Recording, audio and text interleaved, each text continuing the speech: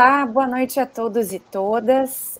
É um prazer imenso dar início a essa nossa última fala do ano de 2021 e receber o festejado professor Ralph Wilde aqui na nossa universidade. Uh, bom, eu pretendo então agora fazer uma breve introdução ao professor, para que depois eu possa passar a palavra a ele e eu farei em inglês para que ele possa também nos acompanhar. So, good evening, Professor Ralph. Uh, it is a great honor and a pleasure to have you here at the Federal University of Uberlândia. Uh, unfortunately, we are online. Hopefully, one day we can receive you in person in our university. Um, nevertheless, I am sure our students will be enjoying a lot uh, from your lecture tonight. Professor Ralph Wilde is um, a professor at the University College of London.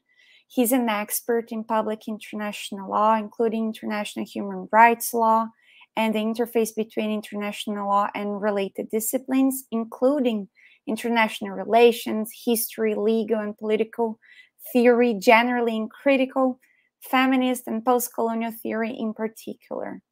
Professor uh, Ralph Wilde will be uh, lecturing us, lecturing to us tonight, and his uh, theme will be diplomatic asylum and extraterritorial non-refoulement, the foundational contribution of the Latin American region to extraterritorial human rights obligation. Professor Ralph, um, this lecture is um, also uh, supported by the International Law Association Brazilian branch, the um, study group from globalization, uh, development, and uh, citizenship, and also our post graduation program in laws, and also our law school. It is a great honor to have you here, and I will leave the floor now to you, sir. Well, thank you so very much, uh, Tatiana, uh, for this uh, very kind invitation uh, to give this lecture to you and your, your law school uh, today. It's a pleasure to be here with you all. Um, thank you. And also my great thanks to Natalia, um, who is in the background organizing the practicalities for this lecture. So um, hi Natalia, thank you for all you're doing with your help to facilitate this. Today I'm going to be presenting some of the main uh, arguments uh, from a forthcoming chapter that will be published in the Routledge Handbook on Extraterritorial Human Rights Obligations, which is due to be published uh, just in time for Christmas uh, on the 24th uh, of this month. Um, and I think um, uh, perhaps Natalia will be able to share now the link uh, to that publication. Uh, this is the website where um, the entire volume is being made available open access um, for your um, festive reading um, starting from the 24th. Um, you should on from that webpage be able to access all the uh, um, the contributions there. Mine uh, is uh, included and focuses on uh, the topic of uh, diplomatic asylum. So diplomatic asylum, which of course is a state offering refuge in its diplomatic premises in a foreign state to an individual requiring protection from that foreign state, as happened with Julian Assange in the Ecuadorian embassy in London, involves, in effect, the operation of the concept of non-refoulement. The idea that a state does not transfer an individual from its control to the space of another state where there's a risk of human rights abuse in that space or in the consequences of its transfer, for example, the transfer on to um, other places. An obligation to this effect exists expressly in the Refugee and Torture Conventions and has been read into other human rights treaties. Now, as this concept is being invoked by a state in its embassy in a foreign country, it's necessarily extraterritorial as far as that state is concerned. Now, as far as ideas of extraterritorial protections operating in international human rights law is concerned, the story told by the predominantly European, Europe-based commentators is that this is a relatively recent area of normative development. The relevant jurisprudential authority crystallized long after the adoption of the early foundational international instruments, notably through the decisions under the European Convention on Human Rights, mostly from the 1990s onwards, with the main decisions about Northern Cyprus. But this story disregards important decisions of the Organization of American States, such as the 1999 Coard decision about the US invasion of Grenada, and also decisions by the UN Human Rights Committee about situations in Latin America, such as the 1981 Lopez Burgos and Celiberti de Casariego decisions concerning the kidnapping of individuals by Uruguay in Argentina and, and, and Brazil. More fundamentally, this account is only possible by adopting a siloed view of the subject matter coverage of international law, whereby human rights protections only exist in international human rights law. This exclusive focus paves the way for the following view, again held prominently amongst Europe-based international lawyers. It is the European region, defined broadly, the Council of Europe, that made the most significant and well-developed contributions to the protection of human rights in international law. This is because of the relative significance accorded to the jurisprudence of the Council of Europe human rights mechanisms compared to the jurisprudence of other equivalent mechanisms, including the OAS bodies. The significance, according to this story, is not simply a matter of comparing the position within each regime. It's also because of a common assumption that the general approach taken in decisions made under one regime is potentially transferable to other regimes with similar norms. Through this transference, the European regime contributed to the international human rights law jurisprudence generally. There has been a process of universalization from the particular, globalizing from the European region.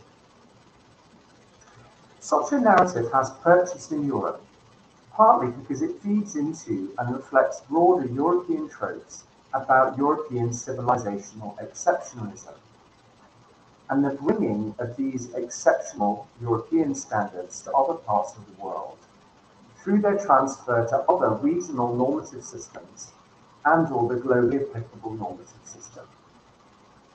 This in turn fits into the broader theory and practice of colonialism and post-colonialism, both generally and in its relationship to international law. Now there is much to challenge in the, the, this narrative of the exceptional contribution of European human rights law to a greater appreciation of other regimes of international human rights law. But there is a more fundamental challenge. If the focus moves out from human rights law to international law generally, and the Latin American practice of diplomatic asylum is viewed as a species of extraterritorial human rights protection, then things look different. Such a standpoint reveals this region, the Latin American region, grappling with the subject of extraterritorial human rights protections much earlier than the relatively recent sagas under the European human rights system. It is perhaps fitting then that the most complete treatment of the subject of extraterritorial non-refoulement by an international human rights body to date is that provided by the Inter-American Court of Human Rights in its 2018 advisory opinion on asylum. The opinion was requested by Ecuador, prompted by the Assange situation. In it, the court addressed the subject holistically and, in terms of the legal regimes potentially in play, broadly. It reflected on the Latin American practice and associated treaties on diplomatic asylum, the question of whether the right to asylum in the Inter-American Declaration and Convention on Human Rights applied to extraterritorial diplomatic premises, the court held that it did not, and whether the separate but related obligation of non-refoulement in the Inter-American Human Rights Instrument applied in such cases. The court held that it did. The court drew widely on jurisprudence from other international human rights regimes, including the ECHR regime, in its analysis. The broad-ranging and comparative nature of this analysis is in sharp contrast to the narrower and more parochial approach taken in and some of the external characterizations of the three main decisions on extraterritorial non-refoulement applying the European Convention on Human Rights. In 2012, the Hirsi decision of the European Court of Human Rights held that the non-refoulement type obligation in the European Convention and a separate provision prohibiting the collective expulsion of aliens in Protocol 4, Article 4, applied extraterritorially. In this case, to Italian maritime pushback of migrants outside Italian territorial waters, and it held that these obligations were violated. A common trope amongst European uh, human rights lawyers was to see this as a landmark, affirm landmark affirmation of the extraterritorial application of non-refoulement protection. The reaction was then to try to explore de novo some of the dilemmas and challenges the operation of such protection throws up. Such dilemmas and challenges were also raised in another case, Al-Saadoon. This concerned UK troops in Iraq handing individuals over to the Iraqi criminal justice system when there was a risk of the use of the death penalty. It related to the situation after the 2003 war in and subsequent occupation of Iraq. Certain authority had been transferred from the occupiers to Iraqi representatives. The continued UK military presence was subject to the agreement of those representatives. The case went through the English courts, applying the Strasbourg standards indirectly via the domestic UK Law Human Rights Act. It ended up in Strasbourg, and two years before Hirsi in 2010, the court found that a non-refoulement type obligation was in operation and had been violated. Eight years before that, in 2004, the Court of Appeal of England and Wales, applying the Human Rights Act, considered individuals claiming refuge in the UK consulate in Melbourne in the B and others case it held that a non-refoulement type obligation under the European Convention on Human Rights could potentially apply, but on the facts, the relevant test was not met, and so there was no violation. The dilemmas and challenges raised in the context of these cases, especially because of the findings of a violation and the decisions being made at Strasbourg in Al and Hirsi, included the following. How can states discharge a non-refoulement obligation or obligation of that type when they're acting extraterritorially, not within their own sovereign territories? What about the profoundly different circumstances that prevail, basis for their presence, and other obligations that may be in operation? Are they supposed to hold on to people until the human rights situation in the place where the individual will be transferred to more generally improves? If the nature of their presence extraterritorially is temporary?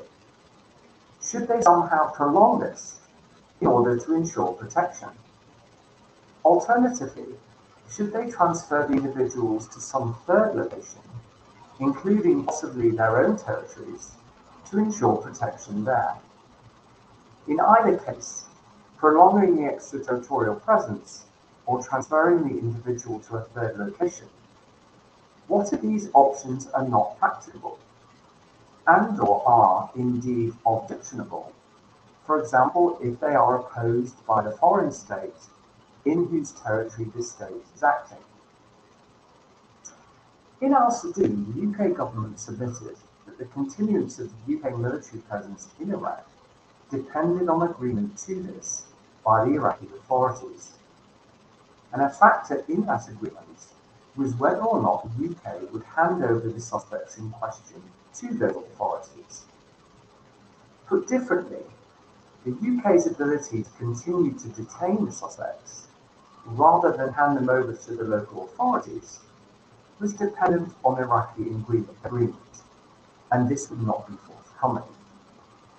Thus, there was no realistic prospect of the UK obtaining Iraqi consent, enabling it to retain custody, whether indefinitely or even just until after the trial had been conducted and the question of whether the death penalty would be applied was determined. The UK also submitted that Iraq would not agree to the UK transferring the individuals to the UK for trial there. The European Court of Human Rights found that there had been a moment when the Iraqi side was reluctant to try the suspects, and that this provided an opportunity that the UK missed to seek a UK trial. A further related, ultimately determinative issue was whether the UK could have obtained an assurance from Iraq that it would not seek the death penalty in the trial of the suspects. This could have paved the way for a transfer compatible with the non-refoulement type obligation. The European Court held that certain opportunities to obtain such an assurance were not taken by the UK, and that in the absence of such an assurance, the transfer was in breach of the non-refoulement type obligation. Now, these decisions and associated commentary on extraterritorial non-refoulement under the European Convention on Human Rights typically address the dilemmas and challenges this concept throws up, as if they had not, for most of the last century, been played out in the Latin American region in its practice and associated treaties on diplomatic asylum. This practice and associated treaties are commonly understood in terms of a potential right on the part of the state to grant diplomatic asylum, not an obligation to do so. Nonetheless, the practice and treaties involve approaches to address some of the dilemmas raised by the provision of protection extraterritorially, which are relevant to circumstances where such provision is obligatory as a matter of human rights law. This is illustrated by the 1954 OAS Caracas Convention on Diplomatic Asylum. That treaty addresses one of these dilemmas that the extraterritorial facilities like embassies or military bases can't serve as anything other than very short-term havens. But the extraterritorial state can't control whether and when the host state circumstances that necessitate refuge might improve. It therefore enables state safe passage to ports of exit to be accorded by the territorial state. This creates a potential bridge between extraterritorial protection in a foreign embassy and territorial protection by that same state or another foreign state, which has greater potential to be sustained for longer if needed. Had the situation at issue in Al-Saadoon not been treated as novel, but rather involving dilemmas concerning extraterritorial protection from non-refoulement that have come up from time to time and therefore require forward planning, things might have been different. Some sort of equivalent workaround mechanism along the lines of the approaches reviewed by the European Court of Human Rights might have been given greater priority at the right time than the court held had been the case. And or such a mechanism might have had greater likelihood of being acceptable to Iraq than the UK claimed had, UK claimed had been the case.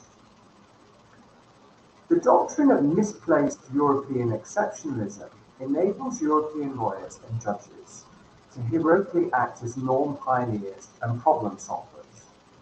It also enables those European states who resist the development of extraterritorial law reform or protection in human rights law as unrealistic and problematic to avoid having to reckon with how Latin American states faced up to the dilemmas and challenges involved and attempted to craft solutions, such as in the Caracas Convention.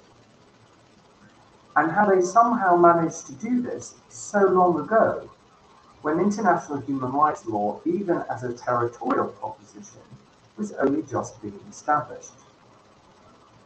To understand further how these links end up being ignored, it can be helpful to look more into the concept of diplomatic asylum in international law and within this to consider how the leading scholar globally of diplomatic law, Eileen Denza, treats the significance of the Latin American treaties and associated practice.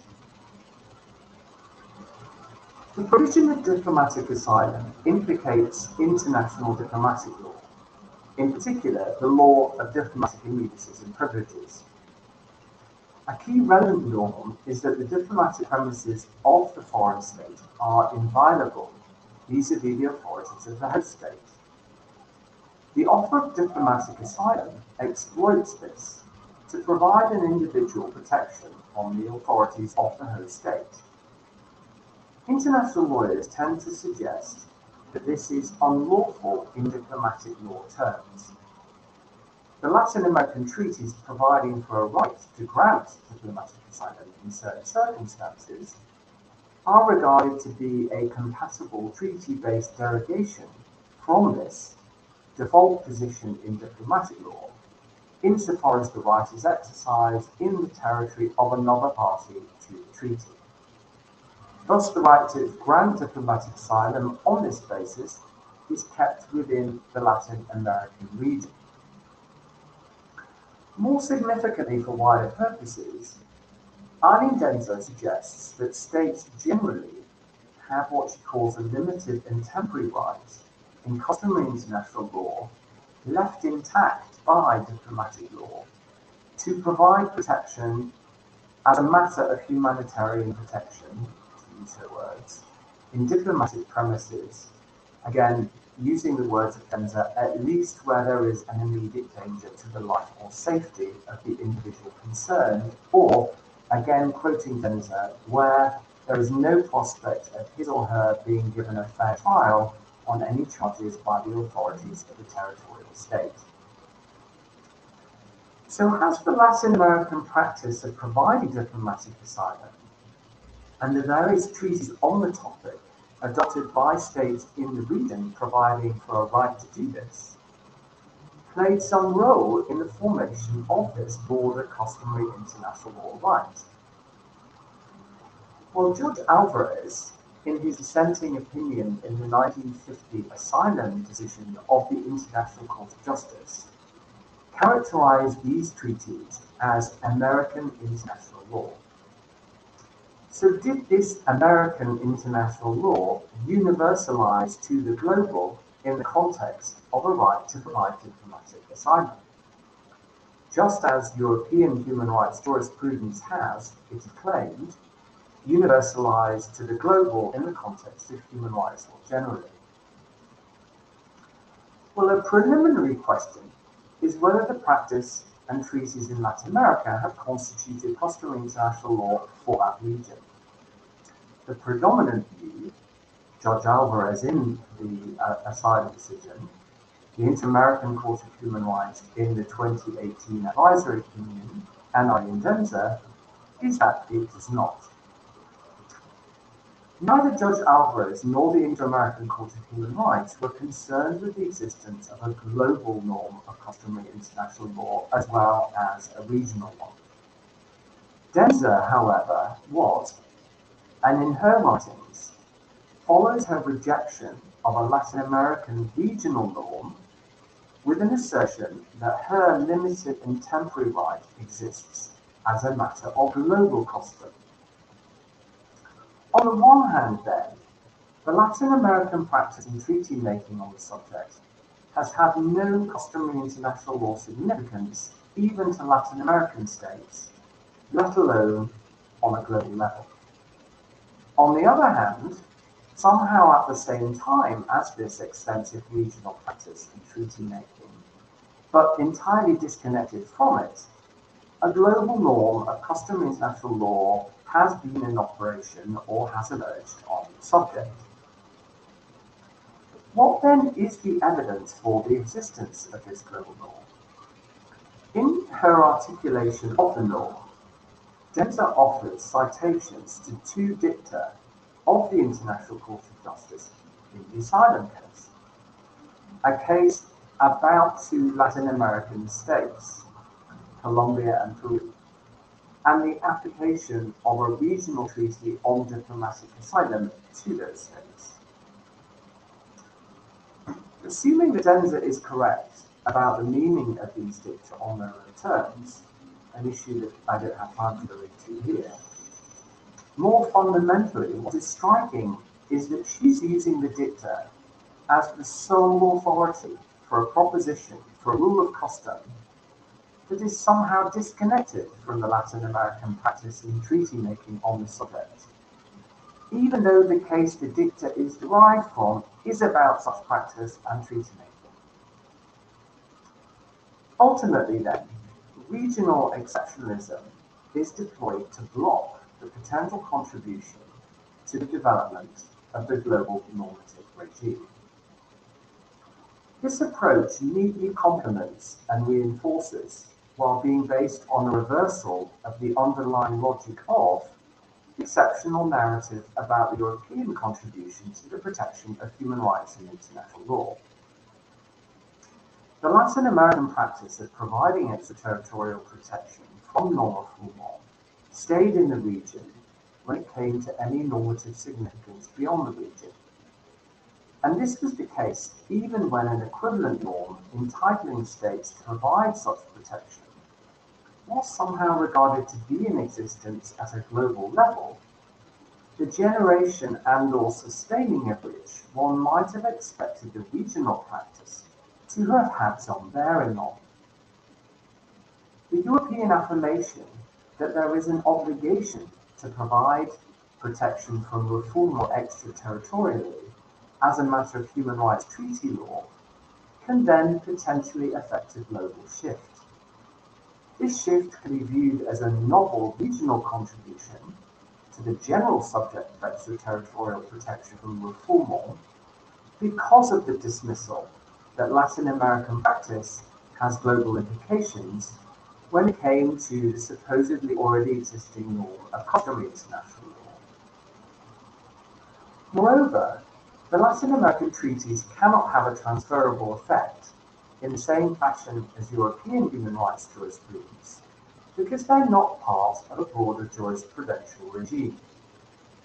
Thus, ironically, because the Latin American region was so historically innovative in relation to this area of protection, developing it before human rights specific treaty law existed, the right to provide it, although not an obligation to do so, existed for the region in treaties that, unlike the later treaties that were the basis for the European developments, did not have the potential to be jurisprudentially linked to a global normative regime. When human rights treaty law then came along, there was not the same pressing need to explore the possibility of developing extraterritorial human rights obligations that might operate in diplomatic premises. There were already treaties on the topic, albeit only covering a right to provide asylum, not an obligation to do so. European innovation came partly then because, unlike in Latin America, there was a complete absence of normative standards in this area, Denza's customary right with its mysterious origins notwithstanding. In Latin America, individuals may not have had a right to effectively protection from extraterritorial refoulement, uh, uh, non-refoulement in uh, diplomatic premises, but states were sometimes willing to give them such protection, and crucially, arrangements were in place enabling them to do this without breaching diplomatic law. The latter was presumably not unconnected to the former. Whenever protection was forthcoming, the need for assistance from regional or international human rights bodies was reduced, and states wishing to provide protection didn't need to risk violating their obligations to host states. Indeed, it's notable that the main contribution from within Latin American human rights jurisprudence to the topic came only when a Latin American state faced a situation outside the operation of the regional diplomatic asylum treaties, Ecuador in the UK.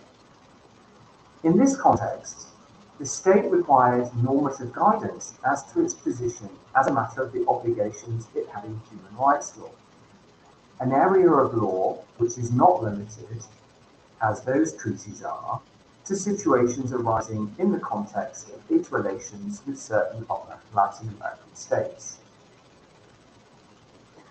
Europeans only got to innovate human rights law then because Latin American innovation on the underlying issue, extraterritorial human rights protection, had already happened decades earlier and address the matter to a certain extent, the provision of protection was discretionary, before human rights treaty even existed. If Denza's account is correct, European states seemingly chose to forego aligning in some way with this approach as the basis for customary international, uh, customary international law rule even if supposedly such a rule did exist or emerge for them on some other mysterious basis. And as a matter of the treaty based equivalent, things would have to wait until much later. And when it came, it was through the very different, relatively precarious jurisprudential route of innovations in the interpretation of ambiguous treaty provisions by courts, rather than, as in Latin America, with states choosing to adopt specific treaties addressing the situation in express terms. Moreover, this happened on the basis of a big leap from the seeming absence of even being entitled to provide such protection to now having an obligation to do so. The abrupt nature of how this came about and the consequent treatment of the challenges it raises as novel are in sharp contrast but how the position in Latin America shifted more gradually from arrangements that provided a right to provide protection in asylum terms, the diplomatic asylum treaties, to the Inter-American Court of Human Rights' 2018 affirmation of an obligation to provide protection in non-refoulement terms. Indeed, this abrupt shift for ECHR contracting states seems also to have led to a backlash by some such states, which in turn seems to have been accommodated in the 2020 MN decision by the European Court of Human Rights. In that decision, the court seemed to pull back on the scope of the extraterritorial application of the non-refoulement obligation as it might operate in diplomatic premises from what had seemingly been affirmed at Strasbourg in the M case and the English courts in the B case. In doing this, it adopted arguments made in submissions to it by not only the respondent state, but also 11 other European intervening states. The MN decision and case concerned Syrian would-be asylum seekers in a Belgian embassy in Lebanon who asked for a visa to travel to Belgium to claim asylum there. They argued that a denial of this visa would amount to refoulement. The court rejected this, seeming to hold, in effect, that an obligation of non-refoulement cannot be in operation in diplomatic premises simply by virtue of the control exercised by the state over such premises through its operation of them. The Inter-American Court of Human Rights' advisory opinion two years earlier, by contrast, affirms the operation of the non-refoulement obli uh, obligation in diplomatic premises on a seemingly more general basis.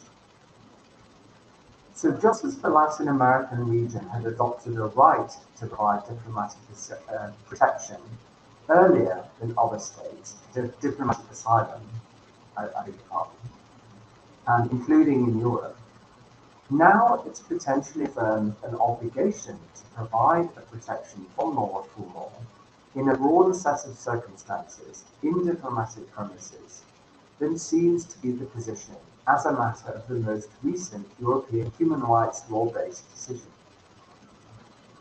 It is important to appreciate, as the Inter-American Court of Human Rights did in its advisory opinion, that what are effectively human rights protections might exist in both diplomatic general international law and human rights law. Moreover, rejecting the intersection between these two areas of law also enables states to miss the link between the developments in the latter, which have affirmed an extraterritorial obligation of non-refoulement, and the situations covered by the former diplomatic premises. Indeed, the former coverage could be treated as if it's the only operative legal regime, with such situations therefore untouched by any requirements in human rights law. In turn, the provision of, of protection in diplomatic premises can then be framed as an abuse of diplomatic privileges. No account need be given to the idea that the state involved might be using its privileges to enable it to discharge its human rights obligations. Or, put differently, that it's the very existence of the diplomatic law privileges, for example concerning inviolability, that create the background conditions that put the state in a position to offer protection, which needs therefore to be provided precisely because of this capacity to do so. The Latin American identity of Ecuador foregrounds the significance of the traditional states in this region for doing what that state did in. At the same time, it may have been this very identity that enabled situation to be viewed by some as somehow entirely disconnected from the developments on extraterritorial human rights obligations in European human rights law generally and such obligations of non-refoulement in particular. The B decision had seemingly established the existence of the latter type of obligation in 2004, eight years before Assange entered the Ecuadorian embassy, as applicable to the UK in its diplomatic premises. But now that the shoot was on the other foot, and Ecuador was in the same position vis-à-vis the UK that the UK had been in vis-à-vis Australia in that case. The potential transferability of the normative position in human rights law that had been held to apply to the UK in B was not invoked. Here then, suddenly, the grand project of universalizing European norms on human rights ground to a halt. This suggests a project operating only when such norms transfer over to non-European others, here Ecuador, without any secondary blowback implications for European states, here the UK, as the host state that cannot have Assange transferred to its custody. Here, colonial echoes are evident. Of course, as we know, in the colonial era, European colonial powers saw themselves as bringing standards of civilization to non-civilized societies. But paradoxically, whereas these standards were somehow understood to derive from European societies, they were not understood to apply to the relations between Europeans and colonial peoples. Such relations were, of course, characterized by mass murder, other atrocities, enslavement, genocide, and the plunder of land and resources.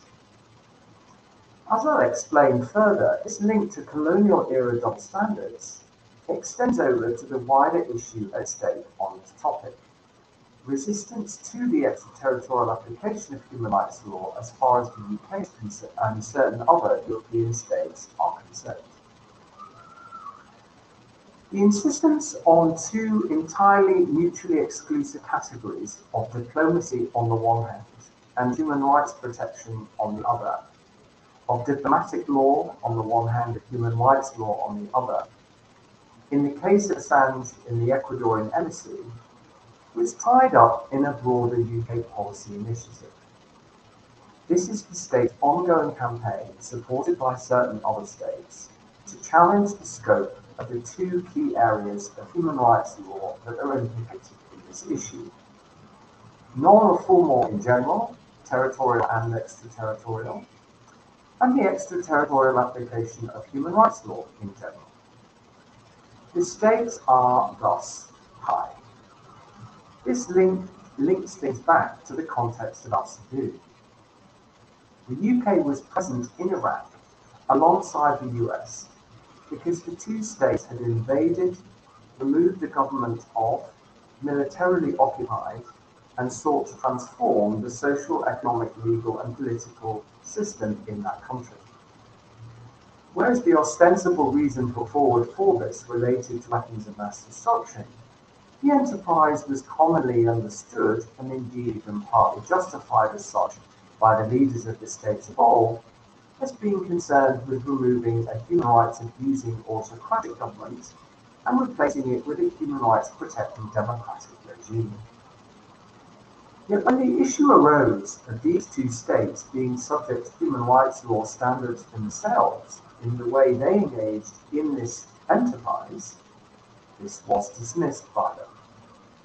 The US has a long-standing position that human rights treaty obligations do not apply extraterritorially when the UK position on the issue generally had to be addressed in the Al-Saadoon litigation, the state similarly refuted applicability on a range of grounds, challenging this all the way through protracted litigation in domestic courts and on to Strasbourg.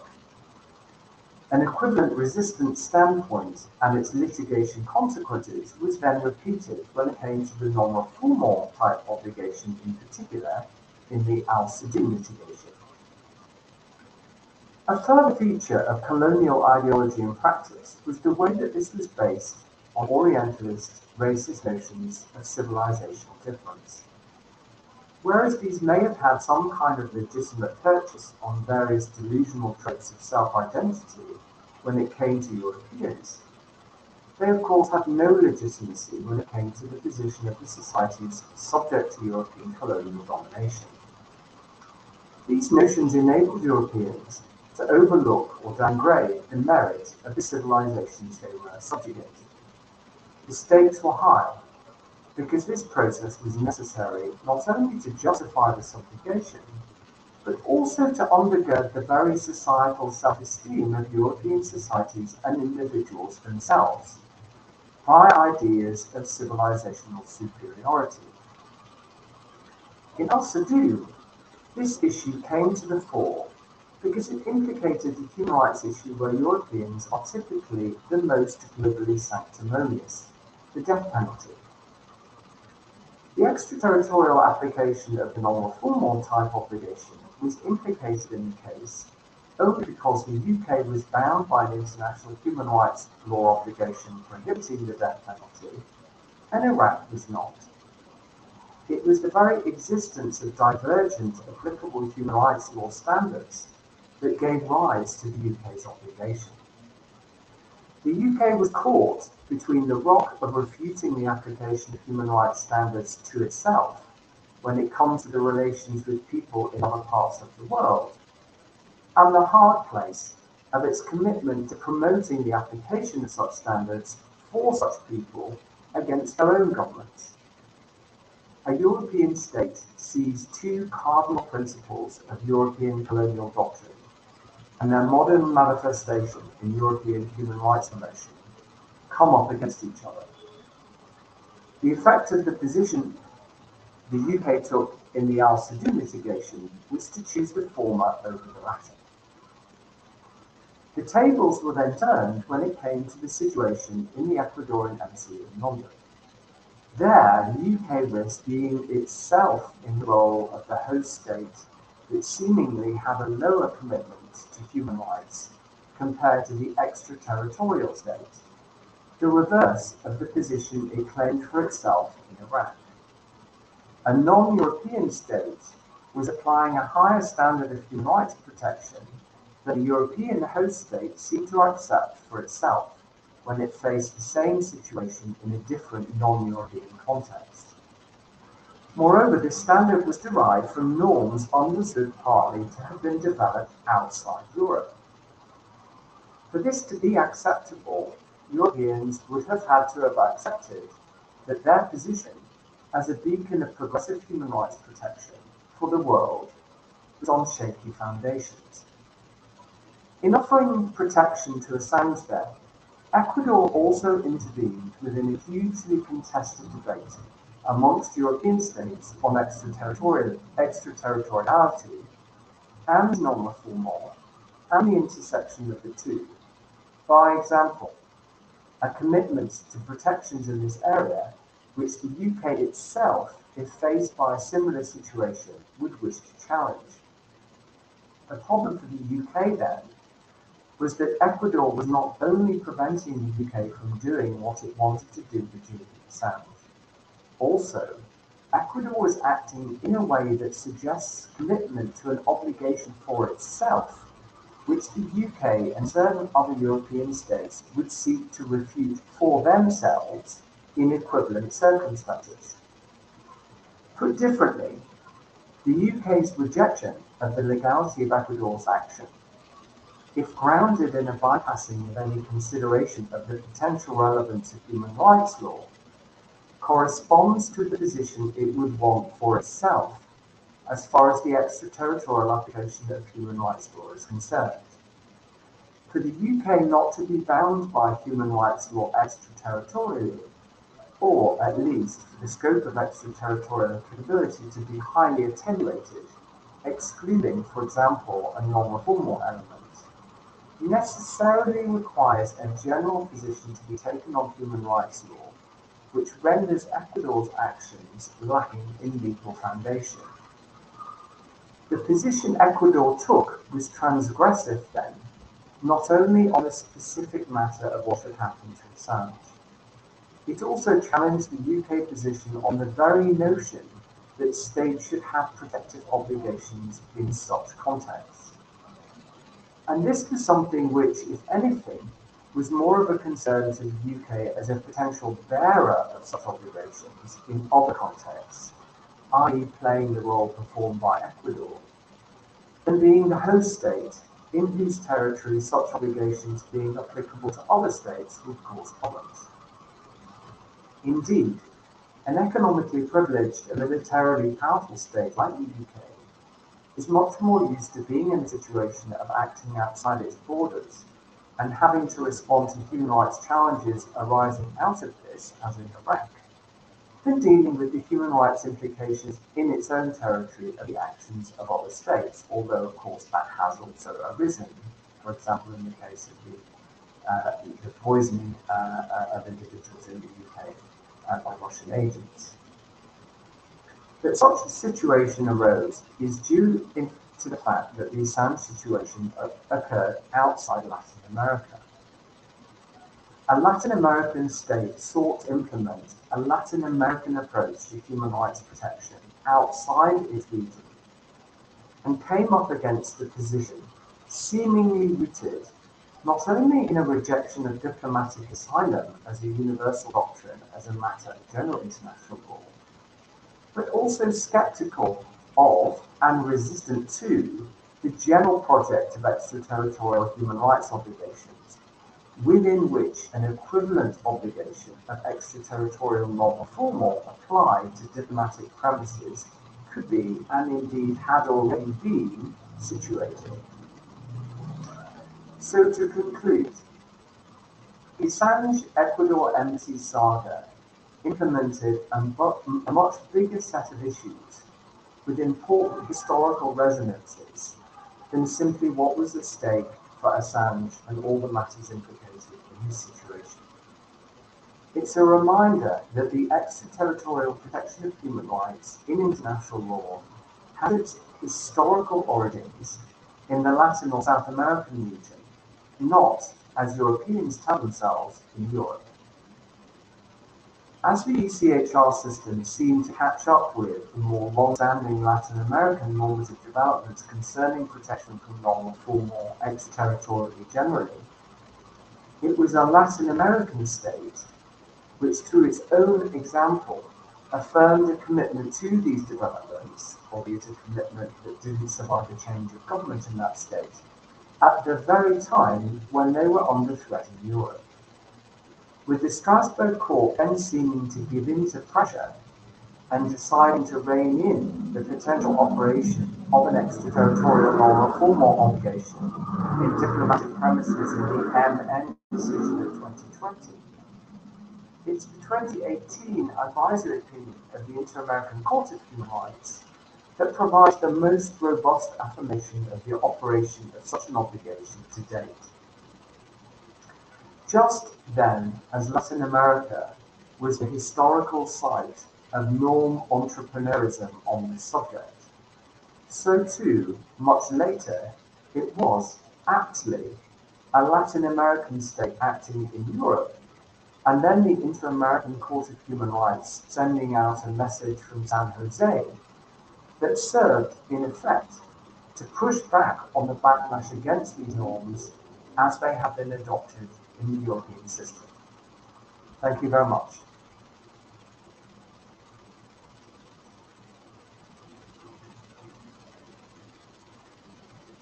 Thank you very much, Professor Ralph. Um, great, great conference. You gave us a lot of pointers on what we can think about um, not only diplomatic asylum, but also the roots of creating and possibly thinking about other forms of um, of the problems that it involves um, basically on this um, colonial foundations that we have in international law.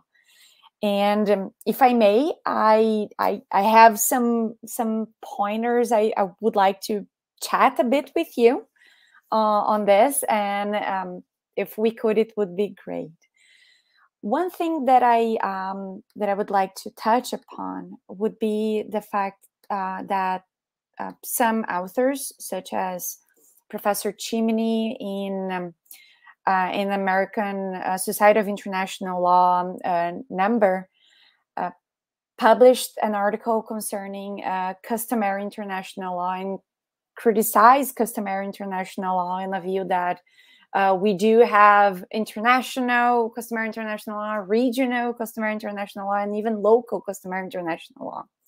And uh, it uh, talked about uh, possibly um, the, the cases, either the Haya de la Torre case that you mentioned in your conference, but also, for instance, when it comes to local custom, uh, it mentioned he mentioned uh, the um, right of passage concerning Portugal and uh, India.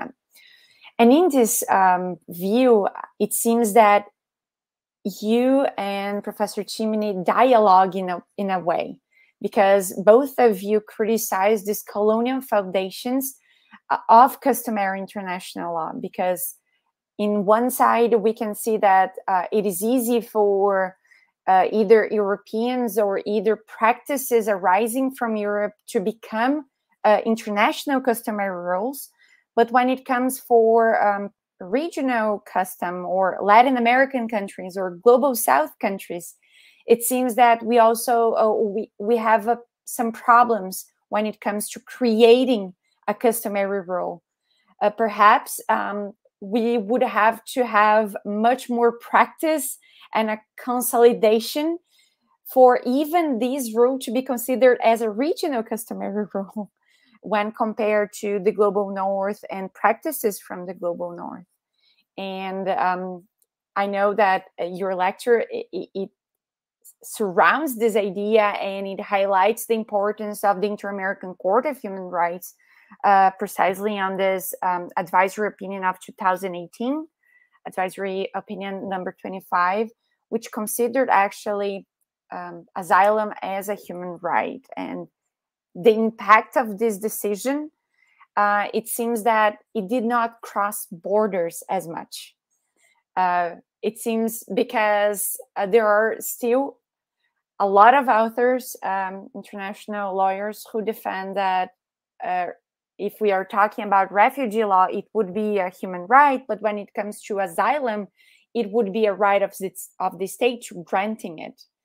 And these um, echoes so much this colonial foundation, as you put, that it, it, it my question would be first if you believe that um, maybe we should rethink these ideas of how customary international laws uh, should be um, created or even uh, practiced and highlighted maybe if there was a way that we could uh, uh, go around these problems of creating customary rules um, then it would be something to think about and you brought this european court of human rights bringing the fact of uh, the humanitarian aspect and this was something that was already present in this advisory opinion of the Inter-American Court of Human Rights, but no mention to it uh, was actually made. And I, I think, okay, so maybe Europe is not giving the credits to the Inter-American Court as it should. I'm not sure if you agree with me on that or not. So this would be something I would like you to hear a little bit um, from you, a little bit more, actually.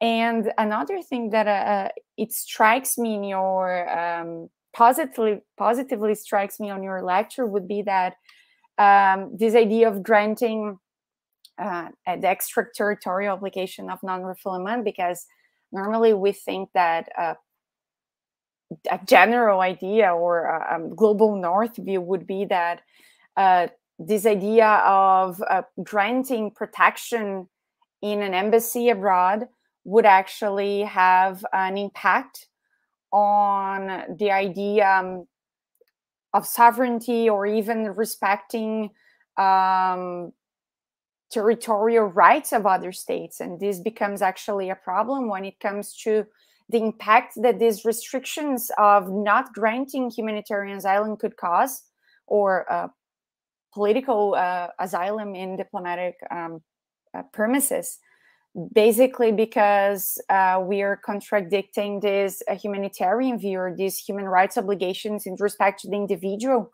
and um, we see that this non-intervention rule on the other side uh, may be causing some troubles so uh, in this view i would like to uh, hear a little bit more about your um, opinion on these uh, two sides of uh, of, of an apple or of an orange or of a coin, right? From one side, we have this humanitarian concern, and from the other, we have this non intervention rule that uh, is very much present in this sovereignty, uh, which was created in 1648 in this global north perspective and this colonial um, uh, roots. So, this would be contradicting. And if we could chat a little bit more on these topics, it would be amazing, actually.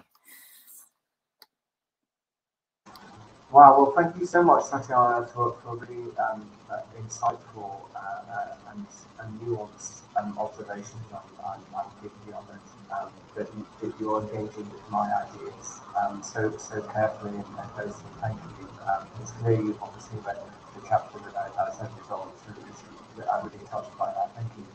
Um, so I think the stakes are really high in a way because you uh, you mentioned Lee's article, which is which I would recommend to, to everyone uh, uh as uh, any anyone who wants to understand customary international law and and the very important questions we have to ask about the, the legitimacy of the, of the very way in which we understand the existence of normativity internationally and on, on what that base on what that is what that is based on.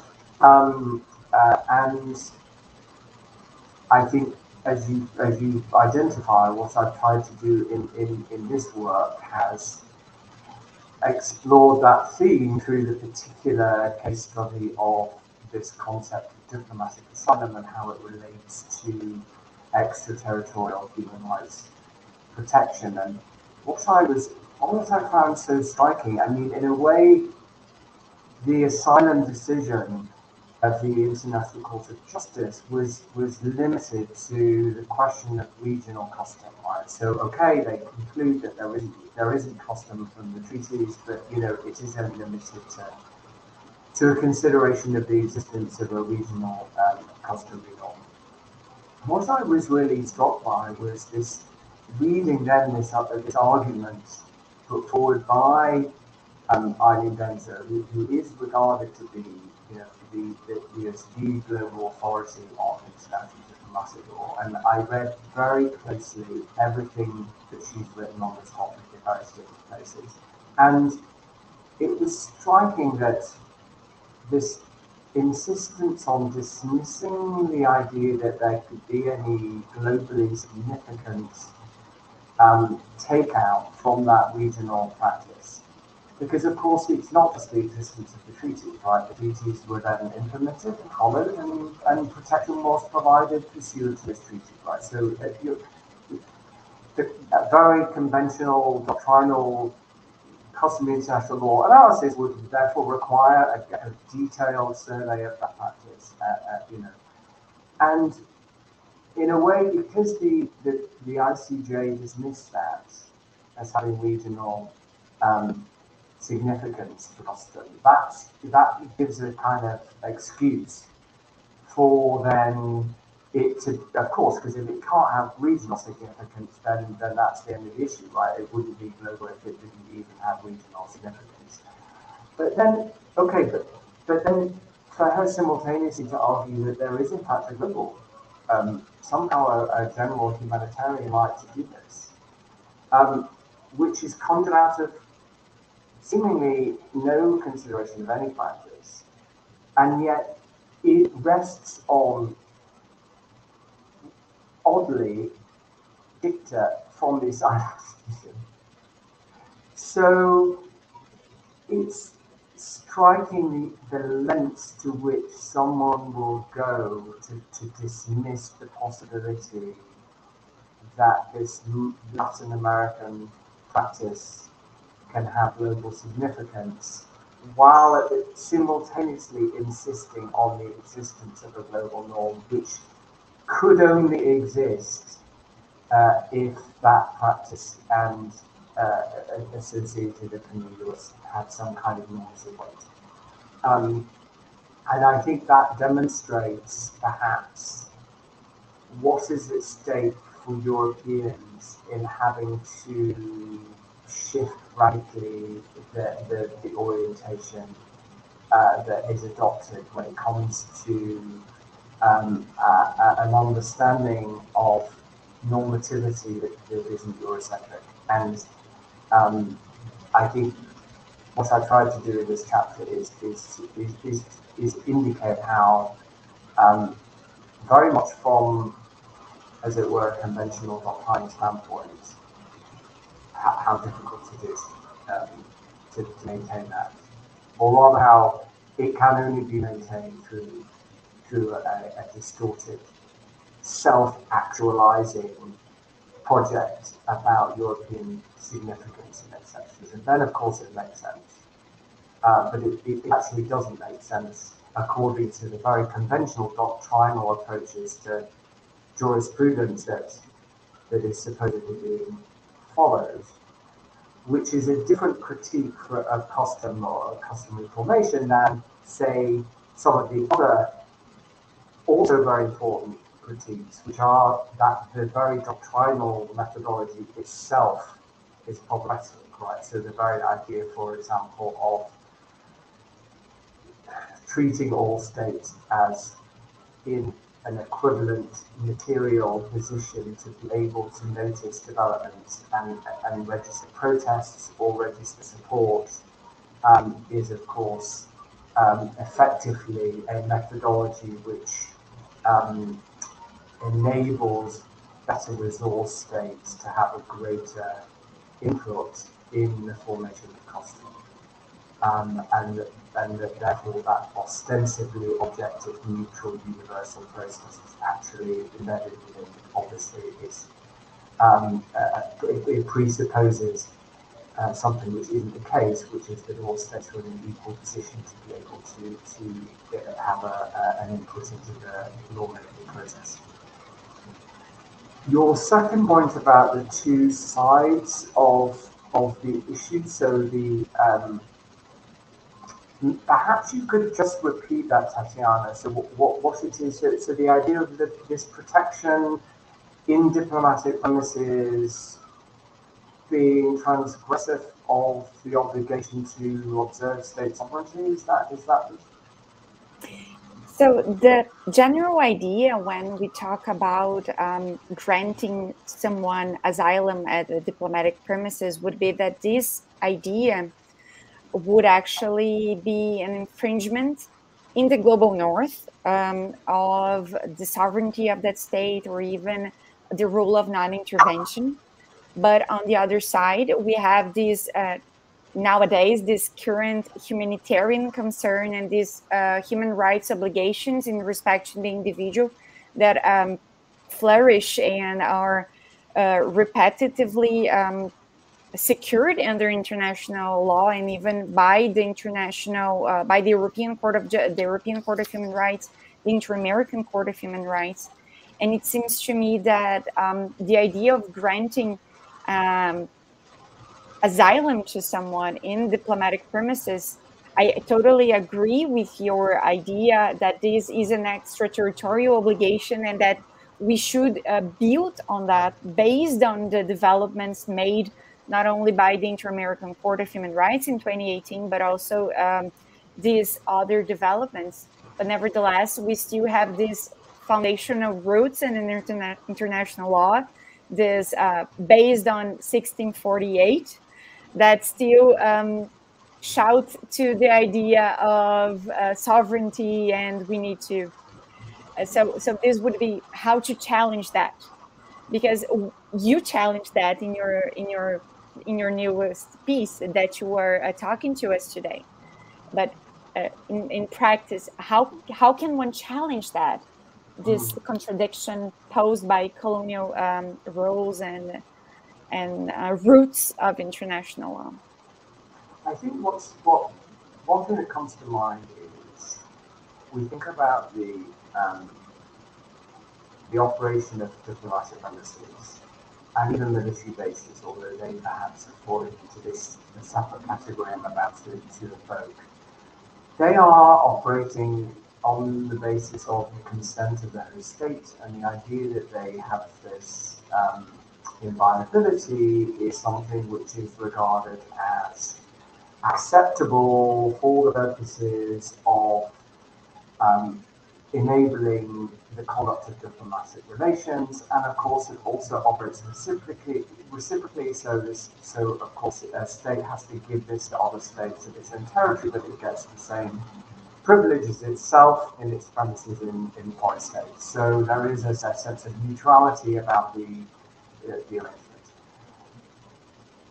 Then having this concept of human rights protection somehow operating within these diplomatic premises disrupts that arrangement.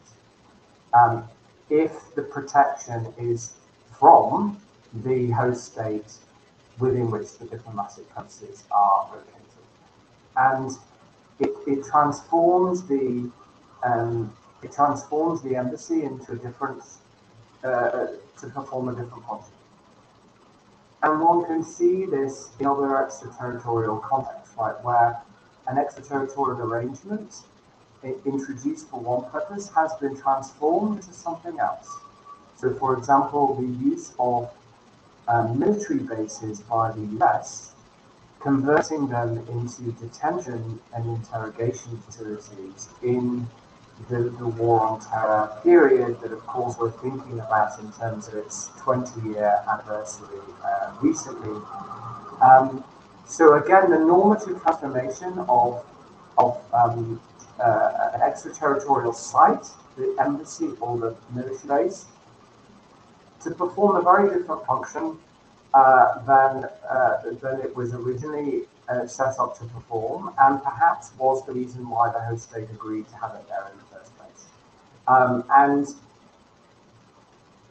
but then it's important. It is important to acknowledge that this is happening in both those situations, right? So it's not just a case that it's happening. I mean, it's it's it's it's very unusual for diplomatic asylum to be to be offered in diplomatic premises. It is somewhat more commonplace for U.S. Uh, uh, military bases to be to be used for this other purpose. So we are in the arena more generally of these arrangements moving away from an exclusive association with a particular reason that, that, that um, legitimated their creation and legitimated the special regime of immunities and privileges that applies to them and enables then these activities to happen. Either enables uh, human rights protection in the form of diplomatic asylum or enables human rights violation in the case of repurposing parts of military bases for the use of uh, uh, detention and interrogation, abuse, uh, torture, uh, and, and being part of the extraordinary rendition um, network. That links on, I suppose, to the broader issue, which is the, the extraterritorial application of human rights law, of course, emerged in the context of um, activities that were themselves, in and of themselves, regarded to be um, either illegal, like, for example, the invasion and occupation of Iraq, or at least of questionable legitimacy. And many extraterritorial activities that then become subject to human rights or regulation are themselves regarded to be of questionable legality and legitimacy often. And so the human rights regulation of them has to be seen as part of a more general discourse of, of, of questioning legitimacy of the need for accountability, which is of a very different kind than the idea that human rights standards should operate within diplomatic premises, which are generally understood not to be initiated and established in any sort of illegitimate way, in, in, in fact, quite the reverse. So I think the context is very different, that this jurisprudence has, to a certain extent, it, it developed in the context of activities that have, of their nature, been violative of human rights in various ways, and then transfers over to um, other situations where there's nothing necessarily inherent about the operation of diplomatic premises that would necessarily involve uh, human rights violations. Uh, it just it's something that might occur if particular circumstances take place there. Um, or things that can be done there which may involve human rights protection or not. So what's significant perhaps is to think about um, the different contexts in which these norms have developed, even if the norms themselves um, in some respects are in common, that operate that, and uh, the, the, nature of the obligations is, is, is similar, non-refoulement or something equivalent, and extraterritorial, but then in other respects, actually the extraterritorial context is, is profoundly different.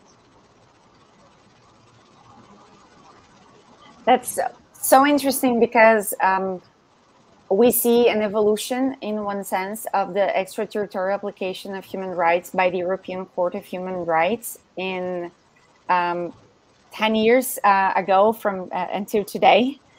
And we see um, also a lot of opportunities for the European Court of Human Rights to talk about it and to impose some some uh, patterns of human rights uh, applications, even extraterritorially. But sometimes it seems to me that the European Court of Human Rights doesn't want to go along with what is being argued based on the margin of appreciation theory and sometimes it seems to me that the margin of appreciation um, becomes also a problem when it comes to defending uh, or even trying to um, bring about more discussions on certain topics, such as diplomatic asylum.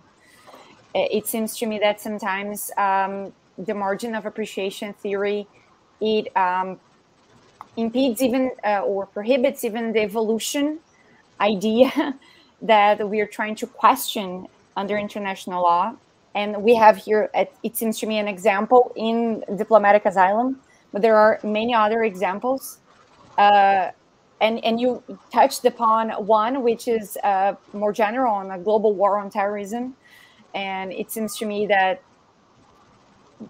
it, it's still a problem maybe of the European Court of Human Rights to, to try to evolve and at least in the Inter-American Court of Human Rights, every time a country um, tried to evoke the margin of appreciation, uh, the court rejected it. So it seems to me that these differences that you just mentioned, they are quite essential and they're quite particular. Sometimes it seems to me that also these uh, differences when it comes to this theory, it also helps highlighting the differences between the interpretations and the views that we see in asylum law. I, am I'm not sure if you agree with me or not on that.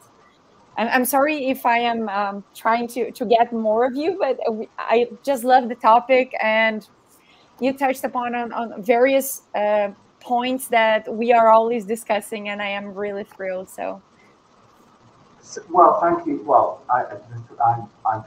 I'm, I'm really, it's fantastic to, to, to have this conversation with Tatiana. Uh, and I think what what's uh, the link I would make with the margin is with the, the margin appreciation, which is of course an invented doctrine. You know, it's not it's not part of the Rights.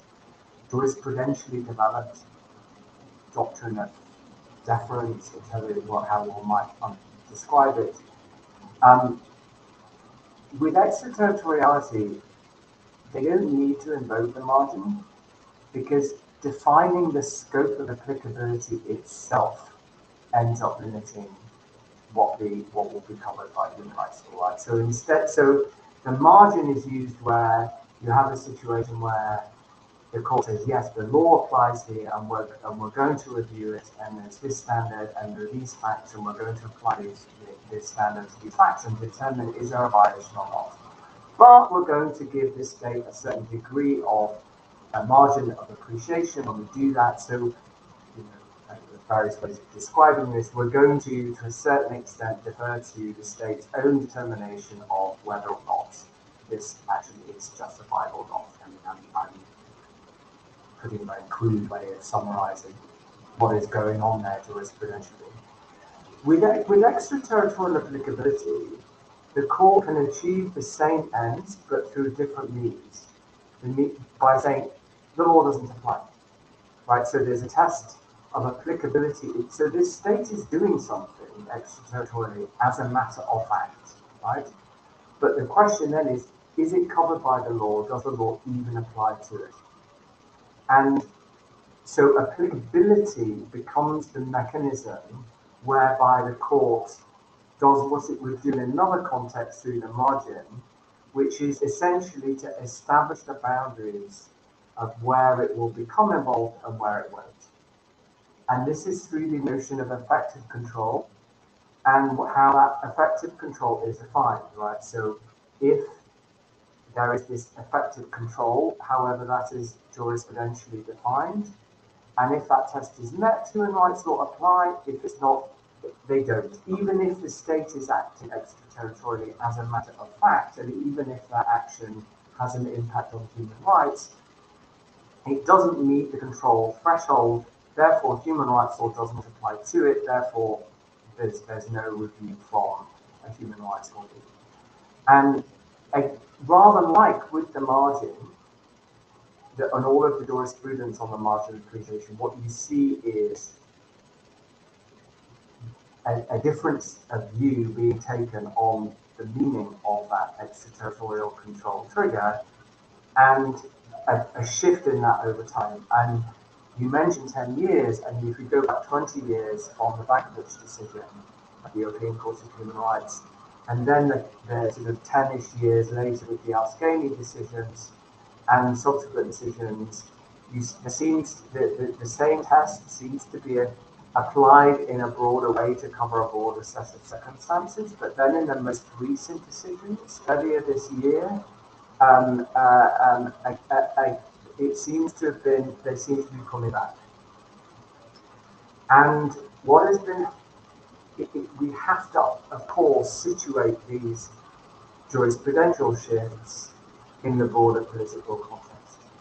So the beginning, uh, the Bankovic decision when the attacks on 9-11 had just happened and there was a sense, uh, um, this exceptional moment of global sympathy and understanding for the position of the US and uh, uh, uh, the view taken that probably there was going to be some form of action by the US in response. And the European Court making a decision about another situation, having to issue a judgment that might have a precedent for that kind of future situations, potentially being concerned that it, it would, if it adopted a broader test of applicability, that it would find itself reviewing what was going to happen in Afghanistan. Ten years later, well into the war on terror period, where these concerns about extraterritorial human rights violations have become much more prominent. We've had Abu Ghraib, we've had the, uh, uh, Guantanamo, uh, extraordinary renditions, secret CIA black sites, and the court, therefore, the same court applying the same test, potentially in a broader, to cover a broader set of circumstances, arguably being um, bolder or at least feeling somehow more um, safe on safer grounds, asserting uh, the need for accountability. Jump forward another 10 years in the context of the backlash amongst some European states uh, to supranational human rights protection and a particular resistance to its the jurisprudence on extraterritoriality, the court pulling back. Um, and so I think that links have to be made between these jurisprudential developments that are happening in, diff in different areas, um, but, but which may be um, reflective of common uh, uh, uh, trends, the, the, common trend of the general problematic of international human rights law enforcement, which is how international mechanisms see themselves being able to discharge their functions when they are in a precarious position and the continued support for them on the part of states is not something that they can take for granted. And that they have to somehow seek to engage in meaningful review while at the same time maintaining their continued existence and relevance.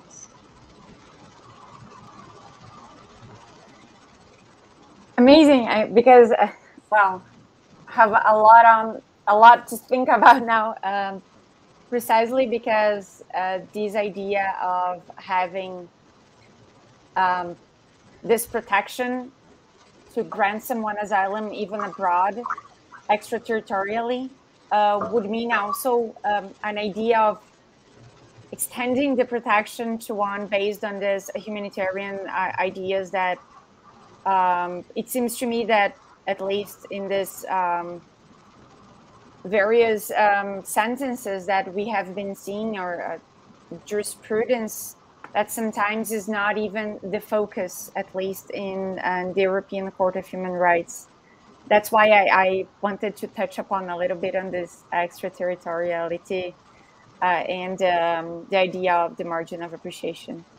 But um, Natalia, could you please uh, place uh, the image? I would just like to highlight to everyone who um, is joining us that we uh, have this new uh, chapter of Professor Ralph, uh, which is based on this uh, lecture today, Diplomatic Asylum and the Extraterritorial Non-Refoulement, which will be out on December 24th. Um, and it's on this book, and we have this link in the image, but we also placed in the comments.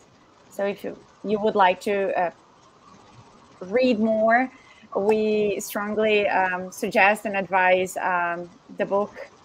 And um, at least from our part, we're so grateful for um, receiving and having you, Professor Ralph uh, today at our university. Um, you gave us a lot of uh, pointers for our next semester to think and to discuss about. And uh, it will be a pleasure um, to extend this chat uh, or to have you then back to Brazil and um, to discuss a little bit further on, on our uh, views on, on, the topic. And thank you very much.